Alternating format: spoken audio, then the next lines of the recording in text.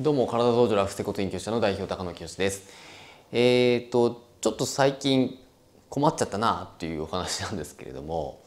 えっ、ー、とまあメイ君のサッカー部の子なんですけれども、あの1週間前ですね。1週間前でか1週前の先週の私が行った時に、えー、まあ怪我しちゃったんですよね。で痛くなっちゃってでそれに対してのアプローチをまあ、したんですよね。まあ、ケアもしたしこういうふうにやって、えー、過ごしていくようにというふうにやったんです。でまあちょっとそれで動いてたと部活もまあなくなってでちょっとバイクでも交互化とかやってたみたいなんですけれども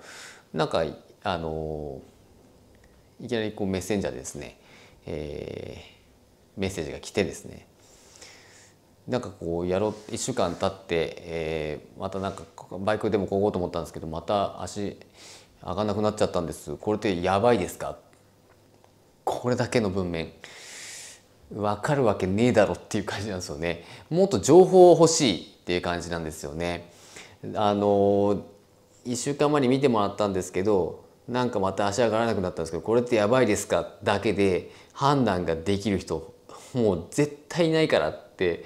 いうとこなんですよね。うん、実際に見えててとかどういうふうに動いててとか見えてんだったら分かるけどその文面だけで上がらないっていう表現だってあのどういう意味なのかが分からないですよね。あのもも上げ的に上がらないのかあの触れないってことなのかあどういうぐらいのレベルなのかが分からないですね。で力が入らないのかどこが痛いのか、まあ、足がって言っても広いので足のももの外側なのか内側なのかそれともハムハムなのかまたはあのふくらはぎなのかそれとも足先なのか全然わかんないですね。これがあの 情報がないがためにそれだけじゃ分かんないというふうに話していろいろ聞いたけどまあちょっとよくわからないということになります。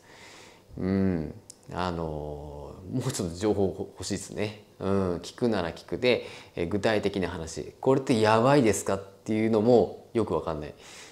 これやらない方がいいやつなんでしょうかとかだったらまだわかるんですけどやばいかどうかなんて何がどうやばいのって話になってくるしあのこれ上げ足取りじゃなくてその何が何だかわからないので情報をくださいって話なんですよね。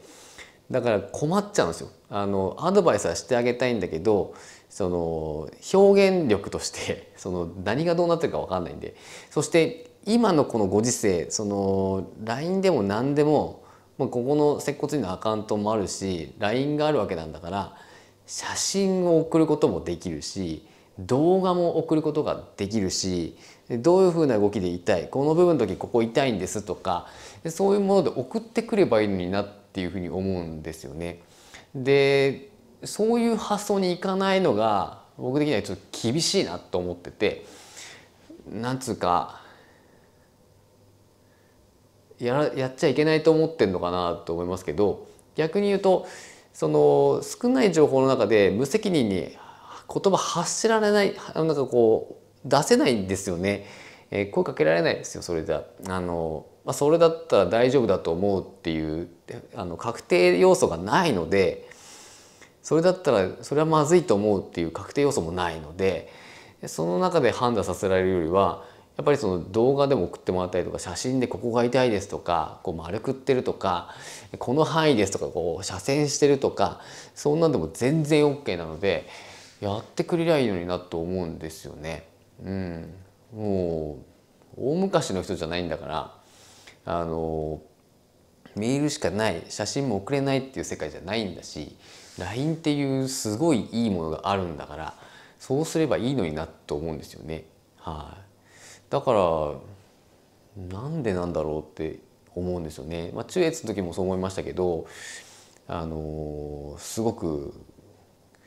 疑問です。はい、なんか中越の時もあったんですけど足の指が痛くてって言ってて「え指痛いの？どこなの?」って親指の